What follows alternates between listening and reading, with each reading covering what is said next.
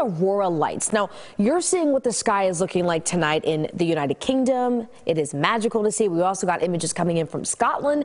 Now, partially this is happening because of the Earth and what it's experiencing right now. We're at a rare extreme level with the G5 geomagnetic solar storm. So we need to break that down a little bit more. Let's, Yes. let's get an expert in here because we are not that person.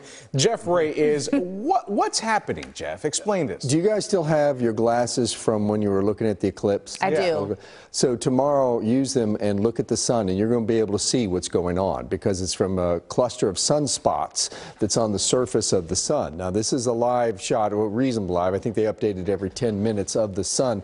Currently, NASA takes, and it's this region right here that where you'll see this cluster. That's about 19 times the diameter of the Earth, by the way. And from that, from that spot where, where the sunspots are, we're at the near the height of the solar cycle. It's about every 11 year cycle. But at the heart of that, there is going to be these huge coronal mass ejections, and there's been several of them over the last week. In fact, we just had one yesterday, and it's from there this plasma goes ejecting out through space and interacts with our geomagnetic field over the planet. So uh, let me show you this map. Now, if you want to see this, you probably going to have to head north because that blue line would represent, you might see it at the horizon, and everything in that green area, that's where you actually have the chance to see one of the better northern light shows in history. You can see clear skies over parts of Oklahoma and Arkansas, but the real clear skies are where you go further north and have a much better chance, by the way,